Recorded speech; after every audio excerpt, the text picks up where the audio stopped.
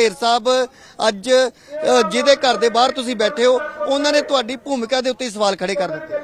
ਹਾਂ, ਦੇਖੋ ਸਾਨੂੰ ਕਿਸੇ ਕੋਲ ਸਰਟੀਫਿਕੇਟ ਤਾਂ ਲੈਣ ਦੀ ਲੋੜ ਹੀ ਨਹੀਂ ਹੈਗੀ, ਵੀ ਅਸੀਂ ਕੀ ਆ ਕੀ ਨਹੀਂ। ਨਾ ਅਸੀਂ ਕਿਸੇ ਨੂੰ ਡਰਾਉਣ ਲਈ ਪ੍ਰੋਗਰਾਮ ਕਰਦੇ ਹੈਗੇ ਆ। ਸਗੋਂ ਇਹ ਸ਼ਬਦ ਕਿਉਂ ਵਰਤੇ ਜਾਂਦੇ ਆ?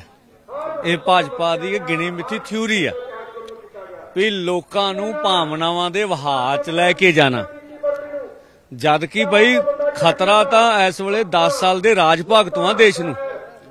ਕਿਉਂਕਿ ਉਹਨਾਂ ਨੇ ਸਾਰਾ ਕਾਰਪੋਰੇਟਾਂ ਨੂੰ ਲੁਟਾਇਆ ਹੈਗਾ। ਇਹ ਹੁਣ ਪਾਜ ਖੁੱਲ ਕੇ ਸਾਹਮਣੇ ਆ ਗਿਆ, ਤੁਹਾਡੇ ਸਾਹਮਣੇ। ਅਸੀਂ ਤਾਂ ਇੱਕ ਲੋਕਤੰਤਰ ਵਿੱਚ ਵਿਸ਼ਵਾਸ ਰੱਖਣ ਵਾਲੇ ਆਪ ਦੇ ਐਮਪੀ ਦੇ ਉਮੀਦਵਾਰ ਨੇਗਾ।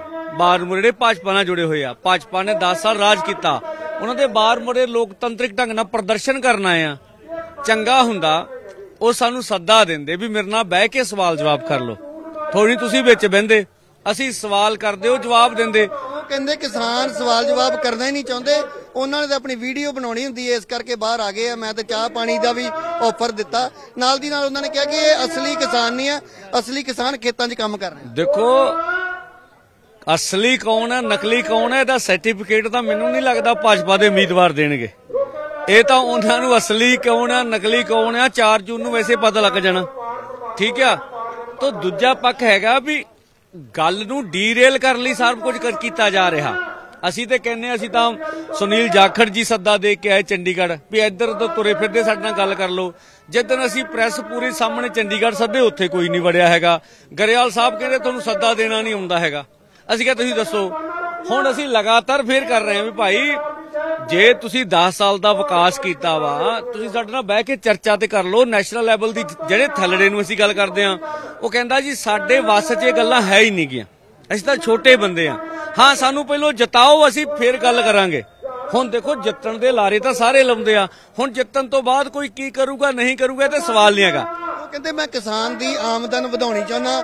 ਮੇਰਾ ਵਿਰੋਧ ਕਰ ਰਹੇ ਆ ਜਦ ਕਿ ਪਿੰਡਾਂ ਦੇ ਵਿੱਚ ਨਸ਼ਾ ਪੀਣ ਦਾ ਪਾਣੀ, ਸੀਵਰੇਜ, ਹੋਰ ਬਹੁਤ ਸਾਰੇ ਮੁੱਦੇ ਆ, ਉਹਦੇ ਤੇ ਕਿਸਾਨ ਕਿਉਂ ਨਹੀਂ ਗੱਲ ਕਰਦੇ? ਦੇਖੋ, ਉਹਨਾਂ ਨੂੰ ਭੁਲੇਖਾ ਵਾ।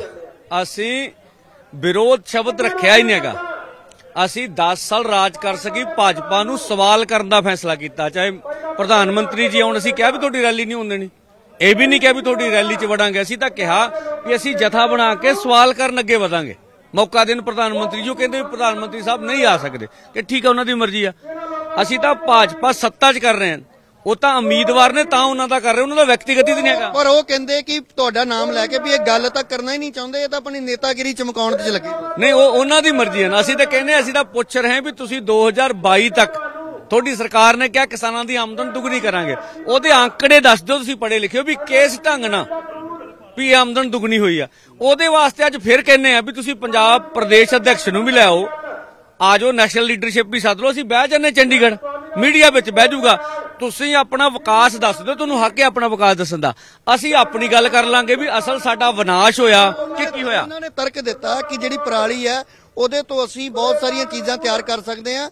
ਇਹ ਜਿਹੜੇ ਜੱਥੇ ਬੰਦੀਆਂ ਦੇ ਆਗੂ ਨੇ ਕਿਸਾਨਾਂ ਨੂੰ ਇਹ ਤਾਂ ਸਮਝਾ ਨਹੀਂ ਸਕੇ ਕਿ ਪਰਾਲੀ ਨੂੰ ਅੱਗ ਲਾਉਣੀ ਚਾਹੀਦੀ ਜਾਂ ਨਹੀਂ। ਨਹੀਂ ਦੇਖੋ ਉਹ ਜੋ ਮਰਜ਼ੀ ਕਹਿਣ। ਮੈਨੂੰ ਲੱਗਦਾ ਉਹਨਾਂ ਦੀ ਭਾਜਪਾ ਚ ਔਕਾਤ ਕੀ ਆ?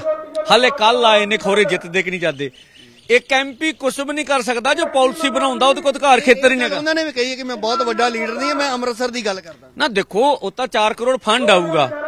ਉਹ ਨਿੱਜੀ ਵਿਕਾਸ ਕਰ ਸਕਦੇ ਆ ਇਹ ਠੀਕ ਆ ਉਹਨਾਂ ਦੇ ਵਾਸ ਚ। ਜਿਹੜੀਆਂ ਗੱਲਾਂ ਉਹ ਕਰ ਰਹੇ ਨੇ ਉਹ ਇਹ ਵੀ ਗੱਲ ਕਰਦੇ ਬਾਰਡਰ ਖੋਲਣਾ ਚਾਹੀਦਾ। ਉਹਨਾਂ ਦੀ ਤਾਂ ਜਿਹੜੀ ਸਰਕਾਰ ਹੈ ਉਹਦੀ ਪਾਲਿਸੀ ਆ ਵੀ ਬਾਰਡਰ ਨਹੀਂ ਖੋਲਣਾ ਉਹਨਾਂ ਨੇ ਬੰਦ ਕਰਵਾਇਆ ਵਾ।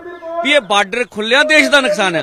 ਹੁਣ ਉਹ ਟਕਰਾਵੀਆਂ ਗੱਲਾਂ ਕਰਦੇ ਨੇ। ਉਹਨਾਂ ਨੂੰ ਉਹਦਾ ਜਵਾਬ ਦੇਣਾ ਵੀ ਉਹਨਾਂ ਦੀ ਨੈਸ਼ਨਲ ਲੀਡਰ ਕੁਝ ਹੋਰ ਪਾਕਿਸਤਾਨ ਦੀ ਬਜਾਏ ਜੇਕਰ ਅਸੀਂ ਦੁਬਈ ਜਾਂ ਹੋਰ ਮੁਲਕਾਂ 'ਚ ਸਬਜ਼ੀਆਂ ਭੇਜਾਂਗੇ ਤਾਂ ਉੱਤੇ ਵੱਧ ਆਮਦਨ ਹੋਏਗੀ। ਨਾ ਅਸੀਂ 10 ਸਾਲਾਂ 'ਚ ਕਿੰਨੇ ਰੋਕਿਆ ਸੀ?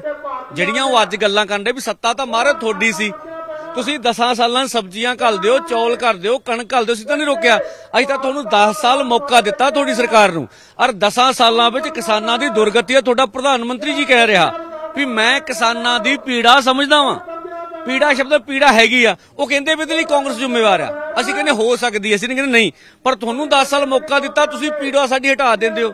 ਤਾਂ ਮੈਨੂੰ ਲੱਗਦਾ ਜਿਹੜੇ ਭਾਜਪਾ ਨੇ ਪਾਪ ਕਮਾਏ ਆ, ਤਰੁਣ ਸੰਧੂ ਜੀ ਭਾਵੇਂ ਇੱਧਰ ਨੂੰ ਕਮਾਉਣ, ਚਾਹੇ ਉਧਰ ਨੂੰ ਕਮਾਉਣ, ਉਹ ਉਹ ਲੱਥਣ ਵਾਲੇ ਮੱਥੇ ਤੋਂ ਨਹੀਂ ਹੈਗੇ। ਇੱਕ ਪੰਧੇਰ ਸਾਹਿਬ, ਜੇਕਰ ਅਸੀਂ 2 ਮਹੀਨੇ ਪਿੱਛੇ ਚਲੀ ਜਾਈਏ ਉਦੋਂ ਭਾਜਪਾ ਕਿਤੇ ਨਾ ਕਿਤੇ ਡਿਫੈਂਸਿਵ ਮੂਡ 'ਚ ਨਜ਼ਰ ਅੱਜ ਕੱਲ ਆਫੈਂਸਿਵ ਨਜ਼ਰ ਆ ਰਹੀ ਹੈ। ਉਹਦੇ ਪਿੱਛੇ ਕੀ ਵਜ੍ਹਾ ਰੀਜਨ ਹੈ। ਦੇਖੋ, ਭਾਜਪਾ ਨੂੰ ਇੱਕ ਏਜੰਡਾ ਵਾ ਵੀ ਉਹ ਕਦੀ ਵੀ ਵਿਕਾਸ ਦੇ ਮੁੱਦੇ ਤੇ ਯਕੀਨ ਨਹੀਂ ਰੱਖਦੀ ਤੇ ਨਾ ਇਲੈਕਸ਼ਨ ਜਿੱਤ ਸਕਦੀ ਆ। ਉਹਦਾ ਤਾਂ ਹੈਗਾ ਵੀ ਹਿੰਦੂਆਂ ਤੇ ਸਿੱਖਾਂ ਦੇ ਵਿੱਚ ਪਾੜਾ ਪਾ ਲਓ। ਸਵਰਨ ਜਾਤੀਆਂ ਤੇ ਦਲਤਾਂ ਦਾ ਪਾੜਾ ਪਾ ਲਓ। ਉਹਦਾ ਅੱਜ ਦਾ ਕਾਰਡ ਥੋੜਾ ਪਹਿਲੋਂ ਦਾ ਕਾਰਡ ਆ। ਔਰ ਐਵੇਂ ਹੀ ਵੀ ਜਿਵੇਂ ਸੱਤਾ 'ਚ ਬੈਠੇ, ਤੁਹਾਡੇ ਕੋਲ ਜੈਟ ਸੁਰੱਖਿਆ ਵਾ ਸਾਡਾ 22 23 ਸਾਲਾਂ ਦਾ ਰਿਕਾਰਡ ਆ 40 ਸਾਲਾਂ ਦਾ ਕਿਸਾਨ ਰਿਕਾਰਡ ਕਦੀ ਕਿਸੇ ਦੇ ਮਤਲਬ ਫਿਜ਼ੀਕਲੀ ਆਪਣਾ ਟਕਰਾਅ ਹੀ ਨਹੀਂ ਕਿਸੇ ਨੇ। ਠੀਕ ਹੈ ਨਾ? ਸਾਨੂੰ ਤਾਂ ਹੀ ਉਹ ਬਾਹਰ ਦੇ ਮੰਨਦੇ ਨੇ ਕਿਉਂਕਿ ਉਹ ਅੰਮ੍ਰਿਤਸਰ ਦੇ ਆਪਣੇ ਆਪ ਨਹੀਂ ਸਮਝਦੇ ਜਾਂ ਦੇਸ਼ ਦੇ ਕਿਸਾਨ ਮਜ਼ਦੂਰ ਨੂੰ ਵੋਟਰ ਸਮਝ ਕੇ ਹੱਕ ਅਧਿਕਾਰ ਨਹੀਂ ਦਿੰਦੇ ਵੀ ਸਵਾਲ ਜਵਾਬ ਕਰਨ ਦਾ ਹੱਕ ਰੱਖਦੇ ਆ। ਪਰ ਇਹ ਗੱਲ ਕਹਿਣਾ ਕਿ ਮੈਂ ਡਰਦਾ ਨਹੀਂ ਕਿਸੇ ਕੋਲੋਂ ਆਪਣੇ ਪਰਿਵਾਰ ਦਾ ਹਵਾਲਾ ਦਿੰਦੇ ਕਿ ਅਸੀਂ ਬਹੁਤ ਵੱਡੇ ਪੰਥਕ ਪਰਿਵਾਰ ਚੋਂ ਆ। ਮੈਂ ਅਜਿਹੇ ਲੀਡਰ ਸ਼ਬਦ ਵਰਤਿਆ ਉਹਨਾਂ ਨੇ ਕਿ ਲੀਡਰੀ ਚਮਕਾਉਣ ਵਾਲਿਆਂ ਤੋਂ ਮੈਂ ਨਹੀਂ ਡਰਦਾ। ਨਹੀਂ ਅਸੀਂ ਤਾਂ ਡਰਾਉਣ ਵੀ ਨਹੀਂ ਆਏ। ਸਾਡਾ ਤਾਂ ਹੈਗਾ ਜਾਂ ਤਾਂ ਅਸੀਂ ਕਿਸੇ ਮੀਡੀਆ ਨੂੰ ਕਿਹਾ ਹੋਵੇ ਵੀ ਅਸੀਂ ਤਰਨ ਸੰਧੂ ਨੂੰ ਡਰਾਉਣ ਚੱਲੇ ਆ ਅਸੀਂ ਤਾਂ ਪੰਜਾਬ ਜਾਂ ਹਰਿਆਣਾ ਲੈਵਲ ਦਾ ਪ੍ਰੋਗਰਾਮ ਆ ਸਾਡਾ ਵੀ ਅਸੀਂ ਭਾਜਪਾ ਦੇ ਘਰਾਂ ਮੋੜੇ 4 ਘੰਟੇ ਜਾਣਾ ਤੇ ਨੈਸ਼ਨਲ ਲੈਵਲ ਤੇ ਸਾਡੇ ਮੁੱਦੇ ਉਹਨਾਂ ਨੂੰ ਆਭਾਰਨਾ ਵਾ ਇਹ ਲੋਕਤੰਤਰਕ ਹੱਕ ਆ। ਹੁਣ ਸੱਤਾ ਵਾਲੇ ਕੀ ਸੋਚਦੇ ਆ?